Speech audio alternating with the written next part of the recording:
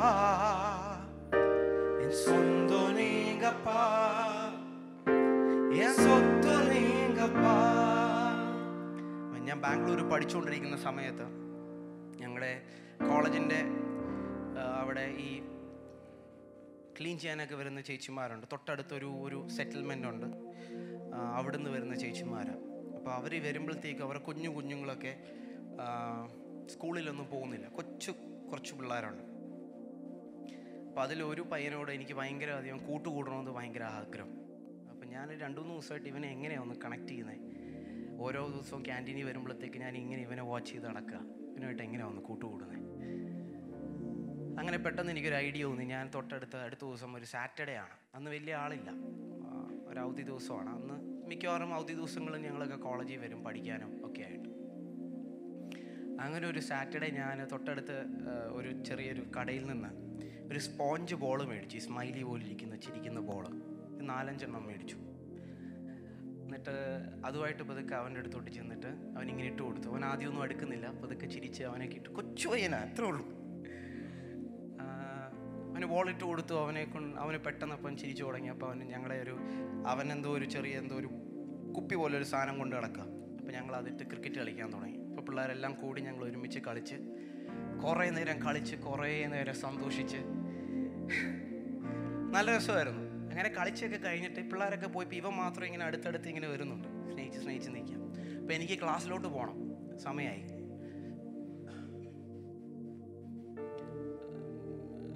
പഠിക്കാനോ എന്തൊക്കെയോ വായിക്കാനായിട്ട് പോകണം അപ്പം ഞാൻ പോകുന്നതിന് മുമ്പ് ഞാൻ പറഞ്ഞു ഞാൻ പോവാ. എണ്ണം പോവാ. ഞാൻ പറഞ്ഞ് എണ്ണം പോവാ. നീ ബോൾ നിനക്ക് വേണ്ടി കൊണ്ടുവന്ന. നീ വെച്ചോളാൻ പറഞ്ഞു. പറഞ്ഞു എനിക്ക് ബോൾ വേണ്ട. പറയാം എടാ ഇത് നിനക്ക് വേണ്ടി മേടിച്ചതാ നീ വെച്ചോ.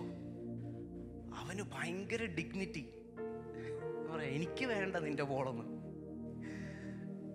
കാര്യമൊക്കെ ശരിയാണ് നമ്മൾ കളിച്ചു ചിരിച്ചു ഏ സന്തോഷമൊക്കെ കൊള്ളാം. പക്ഷെ നിന്റെ ബോൾ നീ വെച്ചോ. എനിക്ക് വേണ്ട നിന്റെ ബോൾ ഞാൻ ഞാൻ അവനെ ഒത്തിരി നിർബന്ധിച്ചു. കൊച്ചു പയ്യനാന്ന് ഓർക്കണേ. നമ്മുടെ പിള്ളേരൊക്കെ ആണെങ്കിൽ വേറെ ആരെങ്കിലും വീട്ടിൽ ചെന്ന് കഴിഞ്ഞാൽ ഒരു ടോയ് കണ്ടു കഴിഞ്ഞാൽ പിന്നെ അത് കരഞ്ഞ് വിളിച്ചെടുത്തോണ്ടേ വരത്തുള്ളൂ. പക്ഷെ ഇവൻ പറയാം എനിക്ക് വേണ്ട നിന്റെ ബോൾ കാര്യം ശരിയാ നീ കളിച്ചു ചിരിച്ചു. ഒക്കെ കൊള്ളാം. പക്ഷെ ഈ ബോൾ നീ തിരിച്ചു വീട്ടിൽ കൊണ്ടുപോകുക കാരണം മനുഷ്യന്റെ ഒരു ആറ്റിറ്റ്യൂഡാണ് നമ്മളെ ഒരു പരിധിക്കപ്പുറം സ്നേഹിക്കാൻ ശ്രമിച്ചു കഴിഞ്ഞാൽ നമ്മൾ അതിനെ അനുവദിക്കത്തില്ല. എത്രവർക്ക് ഞാൻ പറയുന്നത് മനസ്സിലാവുന്നുണ്ട്.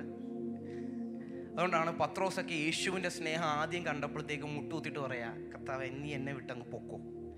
എനിക്ക് നിന്റെ സ്നേഹം എനിക്ക് നിന്നായിട്ടൊരു കൂട്ട് എനിക്ക് പറ്റത്തില്ല.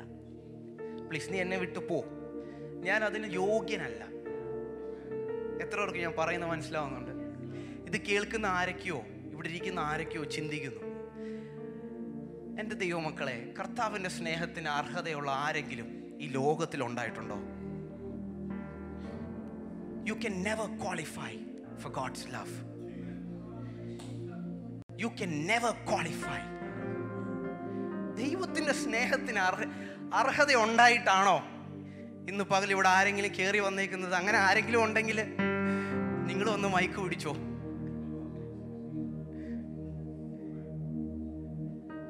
പക്ഷെ ഈ സ്നേഹം it is an offensive love അർഹിക്കാത്തടത്ത് കയറി ചെന്ന് കയറി പിടിക്കും.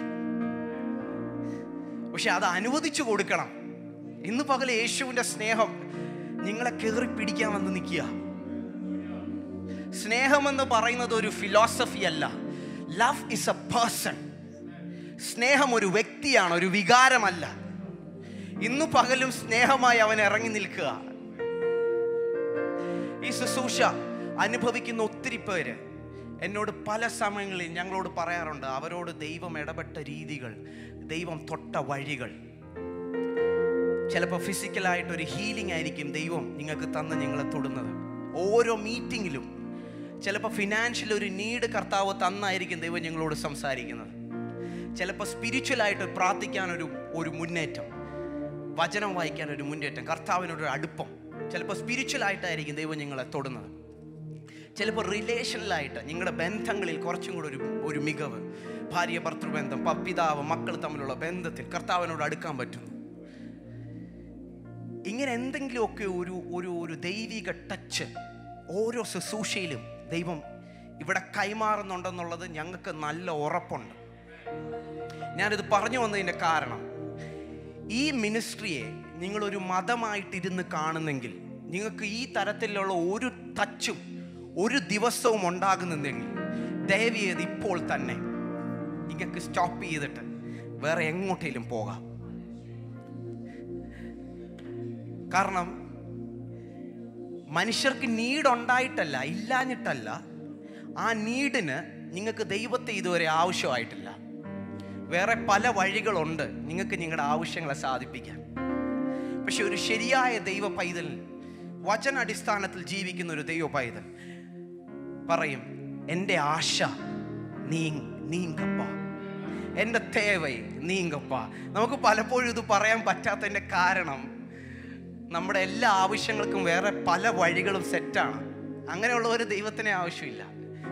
You are privileged enough that you can access the help of the world ലോകത്തിലെ എല്ലാ സഹായങ്ങളും നിങ്ങൾക്ക് ആക്സസ് ചെയ്യാൻ പറ്റും.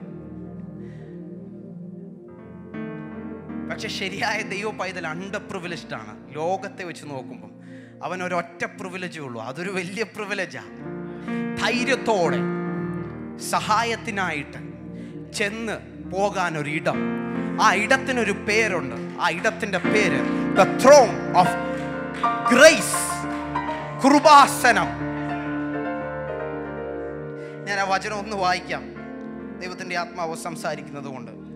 എബ്രായർ നാല് പതിനാല് മുതലുള്ള വാക്യങ്ങൾ. ആകയാൽ ദൈവപുത്രനായ യേശു ആകാശത്തിൽ കൂടെ കടന്നു പോയൊരു ശ്രേഷ്ഠ മഹാപുരോഹിതനായി നമുക്കുള്ളത് കൊണ്ട് നാം നമ്മുടെ സ്വീകാര്യം മുറുകെ പിടിച്ചുള്ളത് നമ്മുടെ സ്വീകാര്യം എന്ന് പറയുന്നത് ഞാൻ നേരത്തെ പറഞ്ഞതുപോലെ നമുക്ക് എന്തെങ്കിലും ക്വാളിഫിക്കേഷൻ ഉണ്ടായതുകൊണ്ടല്ല നമ്മുടെ സ്വീകാര്യം ഇവിടെ ഒരേ ഒരു മനുഷ്യനാണ്. ഒരു ഒരു ഒരു ഒരു ഒരു ഒരു വ്യക്തി മനുഷ്യനായി ഭൂമിയിൽ ഇറങ്ങി വന്ന് ജീവിച്ച് മരിച്ചു ഉയർത്തപ്പെട്ട് ദൈവമെന്ന് തെളിയിച്ച് സ്വർഗത്തിലേക്ക് കയറിപ്പോയ ഒരു വ്യക്തി. നമ്മുടെ സ്വീകാര്യം മുറുകെ പിടിച്ചുകൊള്ളുക. ഈ ഇതുകൊണ്ട് വേണം ദൈവസന്നിധിയിലേക്ക് കയറി വരാൻ. ദൈവസന്നിധിയിലേക്ക് വരുന്നവർ നിങ്ങളുടെ എന്തെങ്കിലും ക്വാളിഫിക്കേഷനും കൊണ്ട് വരരുത് കർത്താവെങ്കിലേക്ക്. ഒന്നും ദൈവം അവിടെ നെഗറ്റീവ് അടിക്കും. റോങ് റോങ് റോങ് കർത്താവ് എന്റെ എഡ്യൂക്കേഷൻ റോങ് കർത്താവ് എന്റെ ക്വാളിഫിക്കേഷൻ റോങ് കർത്താവ് എന്റെ ദാനധർമ്മ കർമ്മ റോങ് റോങ് റോങ് കർത്താവ് യേശു ക്രിസ്തു അങ്ങയുടെ പുത്രൻ. കമോൺ കം ഇൻ നീ വാ നീ അകത്തോട്ട് വാ. കർത്താവ് അങ്ങയുടെ പുത്രന്റെ രക്തം. വാ നീ വാ നീ വാ. എത്ര പേർക്ക് ഞാൻ പറയുന്ന മനസ്സിലാവുന്നുണ്ട്? You are qualified because of Jesus Christ and his sacrifice ഓ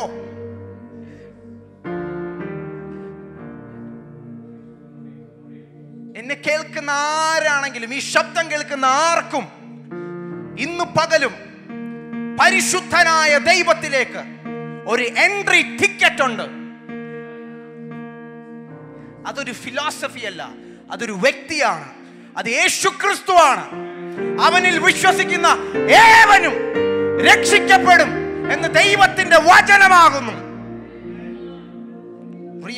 ശന്തല നമുക്കുള്ള മരോ മഹാപുരോഹിതൻ നമ്മുടെ ബലഹീനതകളിൽ സഹതാപം കാണിക്കുവാൻ കഴിയാത്തവനല്ല. പാപമൊഴികെ സർവത്തിലും നമുക്ക് തുല്യമായി പരീക്ഷിക്കപ്പെട്ടവനത്രേ നമുക്കുള്ളത്. അതുകൊണ്ട് കരുണ ലഭിക്കുവാനും തക്ക സമയത്ത് സഹായത്തിനുള്ള കൃപ പ്രാപിക്കുവാനുമായി നാം ധൈര്യത്തോടെ കൃപാസനത്തിനടുത്ത് ചെല്ലുക. സഹായം ലഭിക്കാനല്ല സഹായത്തിനുള്ള കൃപ ലഭിക്കുവാൻ നാം ധൈര്യത്തോടെ കൃപാസനത്തിന് അടുത്ത് ചെല്ലുക. ഇന്ന് പകൽ എത്ര പേർക്ക് കണ്ണുകളെ അടച്ച് ആത്മാവിൽ ആ കൃപാസനം ഒന്ന് കാണാൻ പറ്റുന്നുണ്ട് ദിസ് ഇസ് ക്രിസ്ത്യൻ ലൈഫ് ഇതാണ് ക്രിസ്തീയ ജീവിതം. കൃപാസനത്തിലേക്കുള്ളൊരു യാത്ര. ഇടയ്ക്കിടയ്ക്ക് അങ്ങോട്ട് ചെന്ന് ദൈവമേ എനിക്ക് കൃപ വേണം. നിന്റെ അഡിക്ഷൻ നിന്നെ തകർക്കുന്നെങ്കിൽ നീ അത് നന്നായിട്ട് ചെല്ലാൻ നിൽക്കരുത് നിനക്ക് ചെല്ലാം ക്രിസ്തുവിന്റെ നാമത്തിൽ ചെല്ലാം ചോദിക്കാം കൃപ കൃപ ചോദിക്കാം. ഓ റബലബ ശന്തൽ പ്രഭാനബ. നിന്റെ ആ വിഷയം അത് ശരിയായിട്ട് ചെല്ലാൻ നിൽക്കരുത് നിനക്ക് ചെല്ലാം. യേശുവിന്റെ നാമത്തിൽ ചെല്ലാം. യേശുവിന്റെ രക്തത്തിൽ ചെല്ലാം. ചോദിക്കാം കൃപ. ഓ! പ്രിയപ്പെട്ട ദൈവമക്കളെ ഓരോ വർഷം പോകും തോറും നമുക്ക് നല്ല ബോധ്യമുണ്ട്. നമ്മൾ നില വെച്ചിരുന്ന സകലതും ഇളകിക്കൊണ്ടിരിക്കുക സത്യമായൊരു ദൈവഭക്തന് പറയാൻ പറ്റും. ഉലകത്തിൽ സെൽവം എല്ലാം നിലയ്ക്കാൻ പോകുക പക്ഷെ അഴിയാത്തതൊന്നേ ഉള്ളൂ പിതാവേ.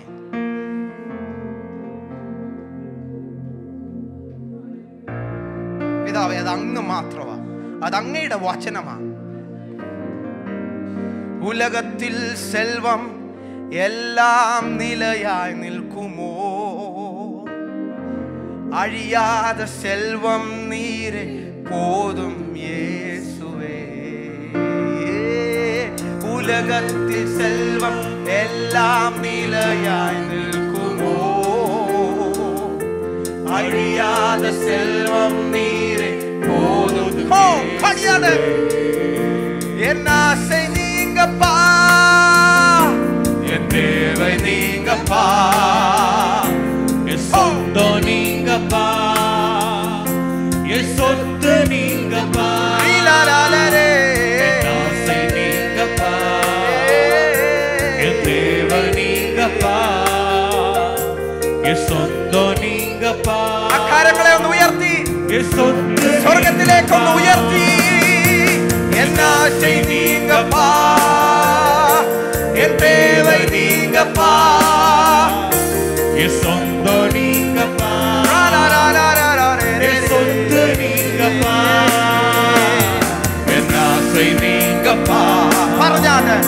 യേശുവിനോട് പറഞ്ഞാണ്. ഓ ശാന്തര യേശുവിനോട് പറഞ്ഞാണ്. യേശുവിനോട് പറഞ്ഞാണ്. ഏ നീങ്കപ്പാ. என்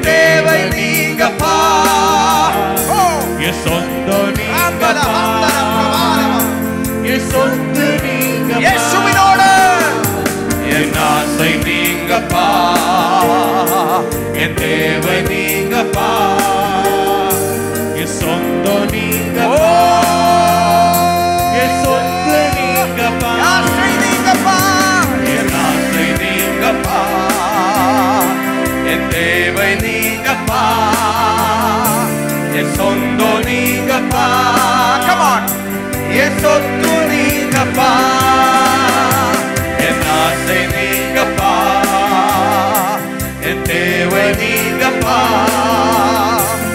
என்